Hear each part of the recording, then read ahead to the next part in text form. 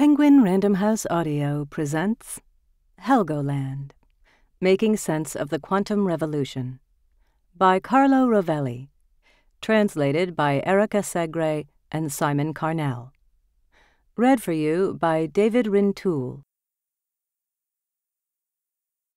To Ted Newman, who made me understand that I did not understand quantum theory. Looking into the abyss. Chaslav and I are sitting on the sand a few steps from the shore. We've been talking intensely for hours. We came to the island of Lamma, across from Hong Kong, during the afternoon break of a conference.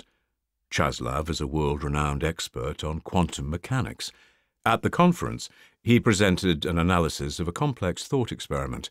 We discussed and rediscussed the experiment on the path through the coastal jungle leading to the shore, and then here by the sea. We have ended up basically agreeing. On the beach there is a long silence. We watch the sea. It's really incredible, Chaslav whispers. Can we believe this? It's as if reality didn't exist. This is the stage we're at with quanta. After a century of resounding triumphs, having gifted us contemporary technology and the very basis for 20th century physics, the theory that is one of the greatest ever achievements of science fills us with astonishment, confusion, and disbelief. There was a moment when the grammar of the world seemed clear, that the root of the variegated forms of reality just particles of matter, guided by a few forces.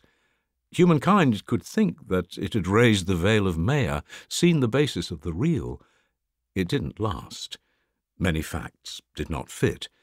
Until, in the summer of 1925, a 23-year-old German spent days of anxious solitude on a wind-swept island in the North Sea, Helgoland, in English also Heligoland, the sacred island. There, on the island, he found the idea that made it possible to account for all recalcitrant facts, to build the mathematical structure of quantum mechanics, quantum theory, perhaps the most impressive scientific revolution of all time.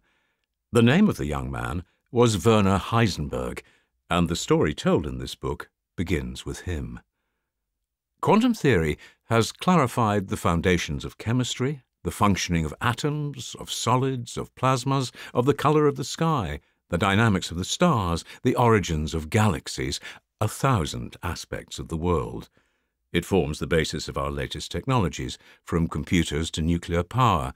Engineers, astrophysicists, cosmologists, chemists, and biologists all use it daily. The rudiments of the theory are included in high school curricula. It has never been wrong. It is the beating heart of today's science, yet it remains profoundly mysterious, subtly disturbing. It has destroyed the image of reality as made up of particles that move along defined trajectories, without, however, clarifying how we should think of the world instead. Its mathematics does not describe reality. Distant objects seem magically connected. Matter is replaced by ghostly waves of probability. Whoever stops to ask themselves what quantum theory has to say about the actual world remains perplexed. Einstein, even though he had anticipated ideas that put Heisenberg on the right track, could never digest it himself. Richard Feynman, the great theoretical physicist of the second half of the 20th century, wrote that nobody understands quanta. But this is what science is all about exploring new ways of conceptualizing the world, at times radically new. It is the capacity to constantly call our concepts into question, the visionary force of a rebellious, critical spirit, capable of modifying its own conceptual basis, capable of redesigning our world from scratch. If the strangeness of quantum theory confuses us, it also opens new perspectives with which to understand reality, a reality that is more subtle than the simplistic materialism of particles in space, a reality made up of relations rather than objects. The theory suggests new directions in which to rethink great questions, from the structure of reality to the nature of experience, from metaphysics to perhaps even the very nature of consciousness. Today, this is all a matter of the liveliest debate among scientists and among philosophers.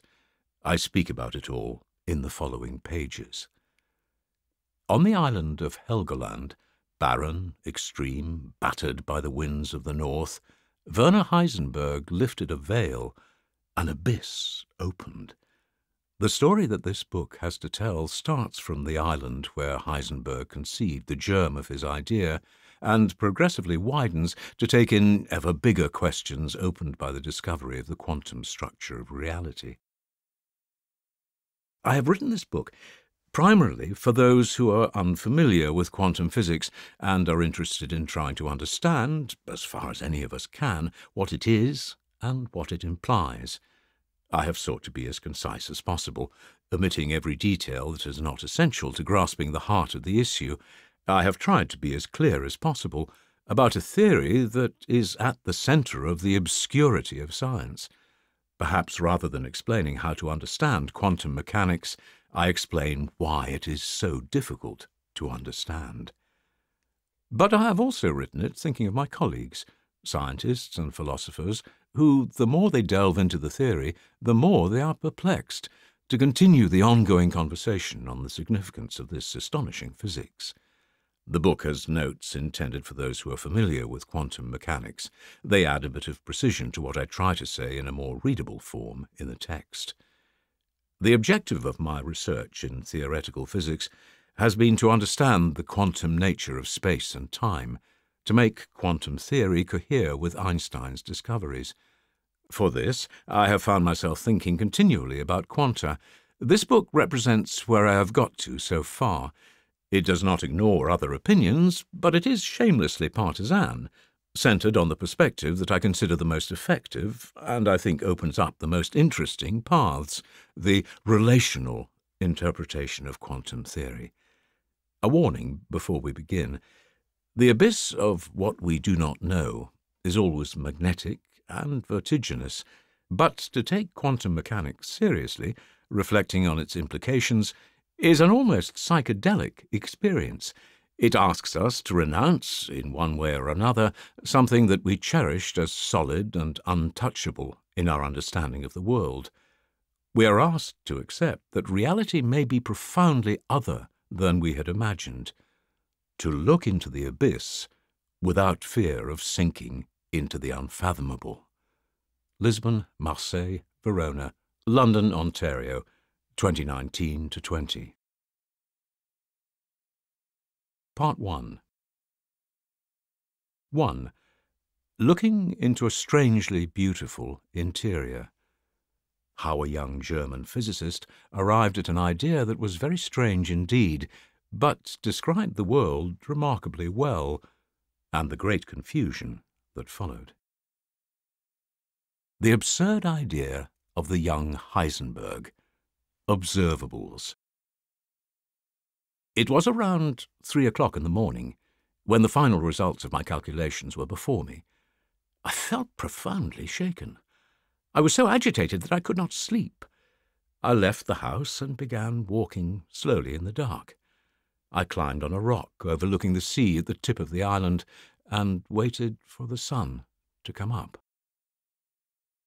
I have often wondered what the thoughts and emotions of the young Heisenberg must have been as he clambered over that rock overlooking the sea on the barren and wind-battered North Sea island of Helgoland, facing the vastness of the waves and awaiting the sunrise, after having been the first to glimpse one of the most vertiginous of nature's secrets ever looked upon by humankind.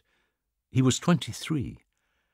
He was there seeking relief from the allergy that afflicted him, Helgoland, the name means sacred island, has virtually no trees and very little pollen. Heligoland with its one tree, as Joyce has it in Ulysses. Perhaps the legends of the dreadful pirate Stortebeker hiding on the island, which he loved as a boy, were in his mind as well.